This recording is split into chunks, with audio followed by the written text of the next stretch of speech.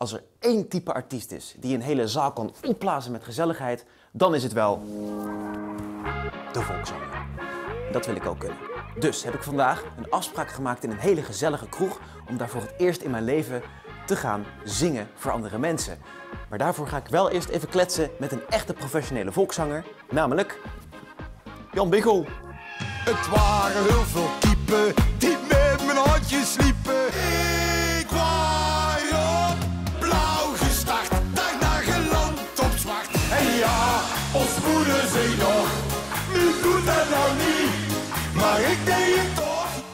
Ga jij van mij zo meteen een echte gezellige volkszanger maken? Wat zijn jouw tips daarvoor? Mijn tips. Gewoon op eigen zijn. Snap de humor. Lachen. Mensen vinden dat mooi. Je moet dat uitstralen. En die energie. Die moeten het publiek indouwen. En als jij lacht, lachen hun mee. En af en toe wijzen. Zo goed.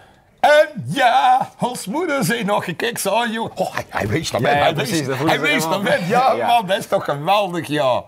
Jan, laten wij gaan oefenen Is goed. met een brede lach Met brede lach. op onze gezichten. Ja, zullen we gaan zingen? We gaan zingen. We gaan zingen. Keer ta ta ta da. Hey, da,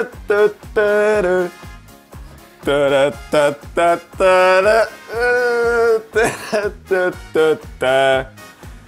Ik stond. eh, shit, wat was die eerste? Zo heb ik Oh ja, ooit is in de kerk gestaan met een verkeerde griet. Nou, dat is niet goed gegaan.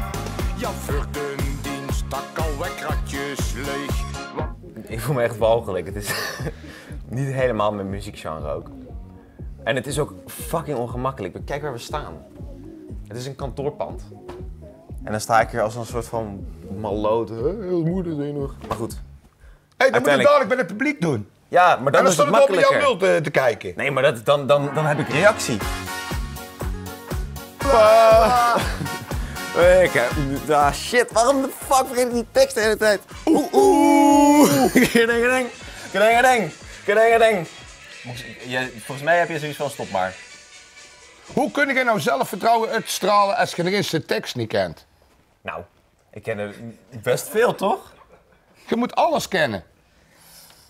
Maar dat is. Ja, Ja, maar ik zeg dat gewoon eerlijk. hè. Ik ga Ja. er niet minder liggen draaien. Nee, ik zeg het gewoon eerlijk. Jij wou volkszanger worden. Dan weet in ieder geval dat het niet zo makkelijk is als dat jij denkt. ja, dat heb ik dan echt te Je moet het ook niet, niet, niet zo makkelijk opnemen. Nee. Want je stort voor een publiek en je, je moet er staan als jij zingt. Ik heb nu... Ik heb, ik heb oprecht echt mijn best gedaan om het uit het hoofd te leren. Maar als je dan... Dat staat Ja, ik te weet doen het, ik en je zit te het. zenden, maar dat is Je dan... krijgt ook een druk over in dadelijk. Je hebt er iets licht over gedacht, maar het komt allemaal goed. Ja, zullen we erop gaan? Dat is goed. Ja? Ja, Oké. we gaan even aan de bak. Dan gaan we nou van buiten leren en goed van buiten leren. Ja. Dan zeg Maar ik jij bent er straks bij, toch? Ik ben er wel bij. Zelfvertrouwen is eh Fuji. Maar eh, we gaan tekst stampen en dan komt hij eh, vanzelf terug. En anders gaan we er alsnog gewoon voor. En blijven lachen. Ja, we blijven wel blijven lachen. Blijven lachen. Ding, ding, ding, ding. Kregering,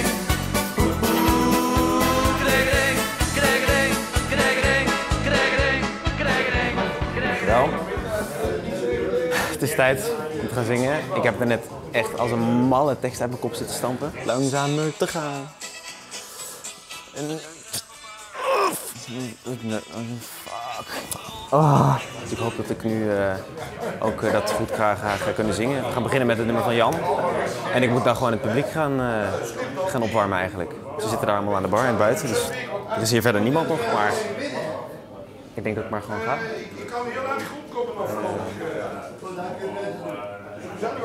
Ja, ons moeder zei nog, doe dat nou niet. Maar ik deed het toch, ja ik weet het, ze zei het. Maar wat dacht ik toen? Dan is het soms leuk om iets aan te doen. Hey, ja hoor. Oeh. Het spijt me, ik was eventjes de tekst een beetje kwijt. Maar nu gaan we gewoon weer lekker verder. Want het is voor Meeuwen. Dat was helemaal niks. Dat was echt verschrikkelijk. Oh. Maar, het is gewoon niet mijn, niet mijn muziek. En het is allemaal hartstikke gezellig als iemand anders het zingt. Maar om zelf die hele gezelligheid op mijn schouders te dragen, dat is niet mijn, eh, is niet mijn roeping. En op een gegeven moment vergat ik ook mijn tekst. Dus dan schoot ik een beetje in de stress van, oh shit, wat moet ik nou zeggen? Maar al zeg ik het zelf, heb ik het best goed opgelost. En is de sfeer die er was, er was niet heel veel, maar er was een sfeer, die bleef redelijk goed. Jan zei nou het ging prima, dat vind ik heel fijn. Ik moet eerlijk zeggen, het goed gedaan. En wat ik nou helemaal goed vond. Als je de tekst niet weet, dan heb je zelf dan de tekst verzint. En de mensen vinden het geweldig. Dat heb ik goed gedaan. Oh. Nou, ik weet in ieder geval heel zeker dat ik geen volkszanger ga worden later.